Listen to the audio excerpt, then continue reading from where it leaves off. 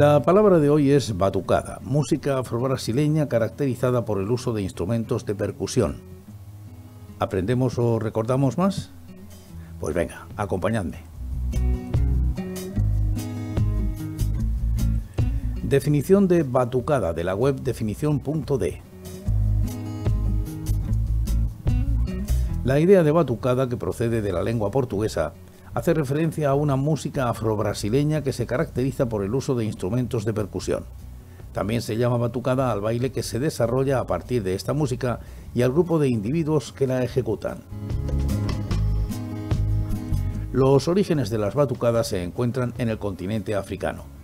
Ya en la antigüedad era habitual que la gente se reunía en torno a tambores para danzar y cantar.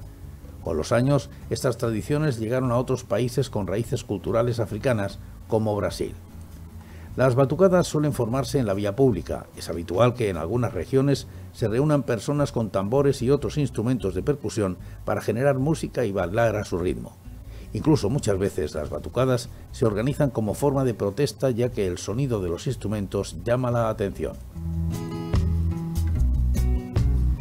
Es importante mencionar que más allá del rol social o cultural de las batucadas, no suelen asociarse a rituales, se trata principalmente de una reunión de percusionistas que hacen música juntos y que son seguidos por personas que bailan a su ritmo. No menos relevante es conocer que dentro de cualquier grupo de batucadas son varios y diferentes los tipos de tambores que se emplean.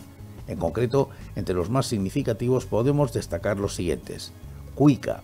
Viene a ser un instrumento que se sustenta en la existencia de un palillo insertado en lo que es el cuerpo, se toca frotando un paño humedecido en el citado palo.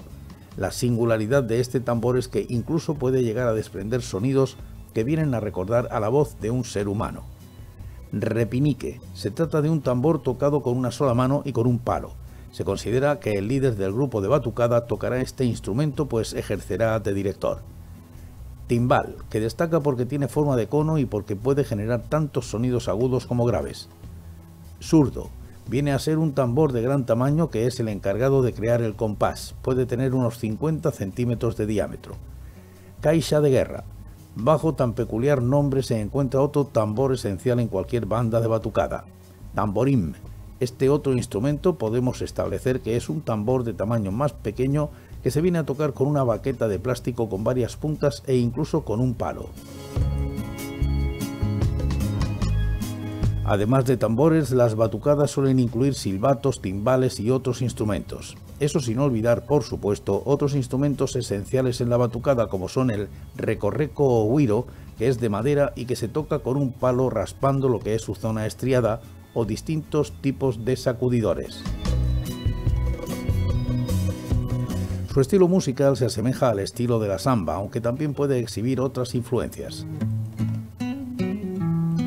En algunos aspectos, las batucadas resultan similares a las murgas, otro género de música popular que basa en el uso de los instrumentos de percusión, aunque este muchas veces incluye coros y hasta manifestaciones teatrales.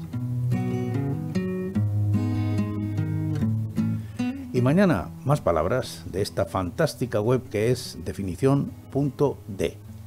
¿Estarás aquí para compartirlas conmigo? Yo sí.